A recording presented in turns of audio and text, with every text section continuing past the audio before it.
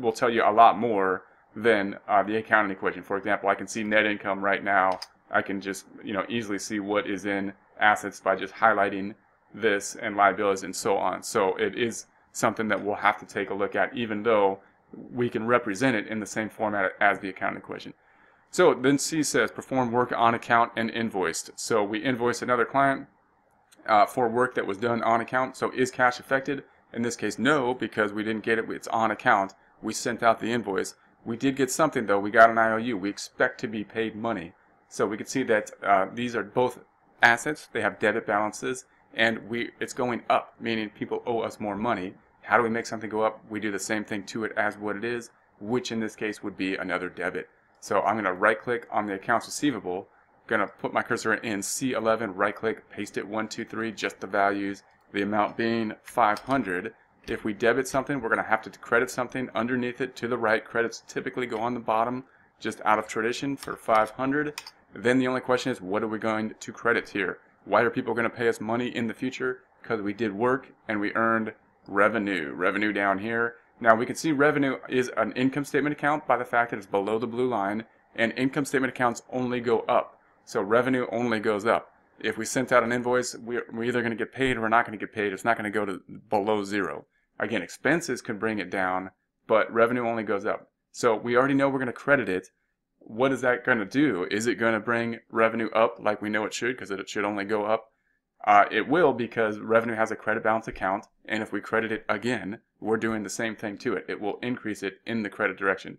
So let's do that and see if that's the case. I'm going to right click, I'm going to copy that, I'm going to post that to C12, right click, paste in it, one, two, three.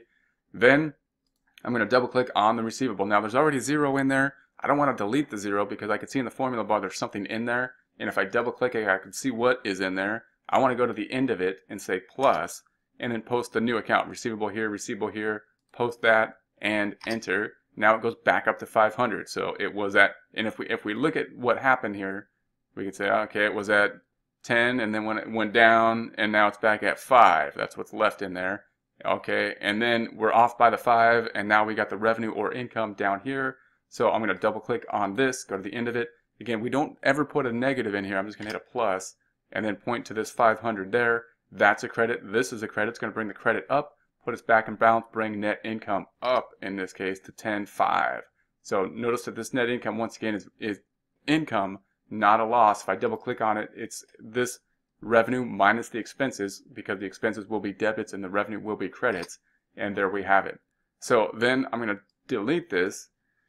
Say, okay, my assets are at 10. If I undo it, assets are at 10.5. So assets went uh, up. So we're that went up. There's no effect on the liability. So liabilities are the same. That means that this must be going up.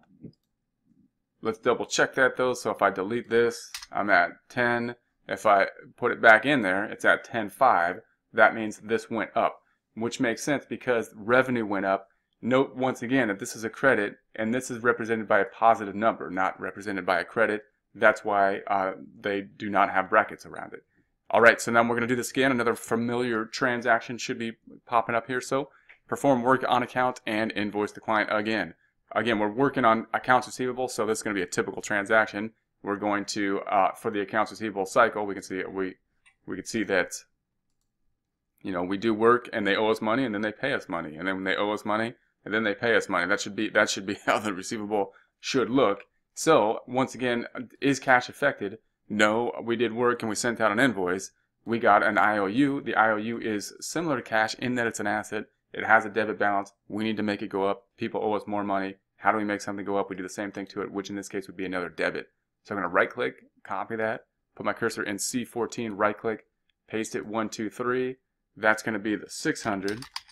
Then we're going to credit something for 600 right underneath it.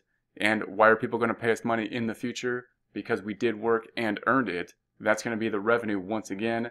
Revenue has a credit balance. We're going to credit it here. We already know that because we debited cash. If we credit it, we're crediting a credit balance account, which is the same thing to it as what it is. And therefore, it's going to make it go up because doing the same thing makes something go up, which makes sense because revenue only goes up and we earn more money in this case. I'm going to right click copy, paste that one, two, three then we're going to post this out.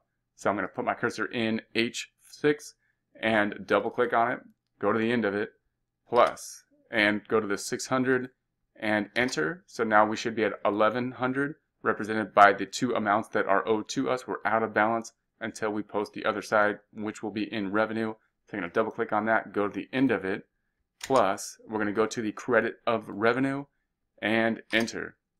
Puts us back in balance there and net income went up. Then we can take a look at what happens to the accounting equation. If I delete this, uh, then assets are at 10.5. I'm going to undo that. Assets at 11.1. Uh, that makes sense because accounts receivable went up. Accounts receivable is an asset. Nothing happened to the liabilities because we can see that there's no, no effect in the only liability account. And once again, if I delete this and we're at 10.5 and undo, now we're at 11.1.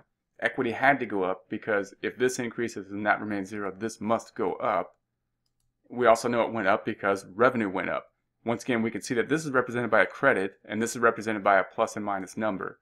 So then we can take a look at the last transaction, received cash on account for work done in the past.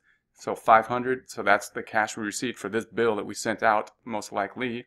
So then um, the question being, is cash affected? Yeah, we received cash. Cash has a debit balance. We got more of it, so it's going to go up. How do we make something go up? We do the same thing to it as what it is which in this case would be another debit. So I'm going to right click, paste it, one, two, three, four, 500. We're going to credit something for 500. And you might be thinking we should credit revenue because we earned revenue, but we already recognize the revenue. That 11.1 is represented. Part of that is that 500 right there already. And we could see that if we do, do oh, I'm on the wrong cell.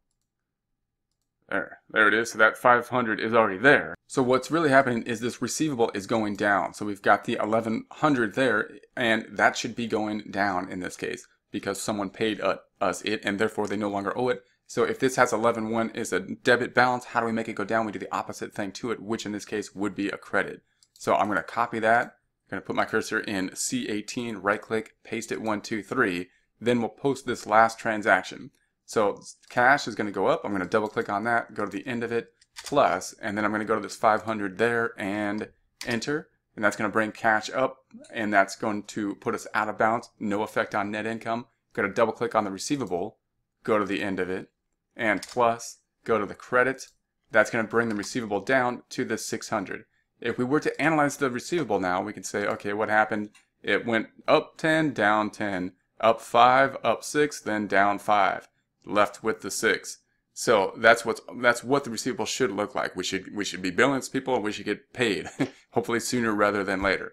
All right. So then if we take a look at the accounting equation over here, if we delete this, it's at 11.1. If we undo it, uh, it's still at 11.1. Why? Because cash went up, but receivables went down. Therefore, the assets went up and down. No effect uh, all the way across on this one.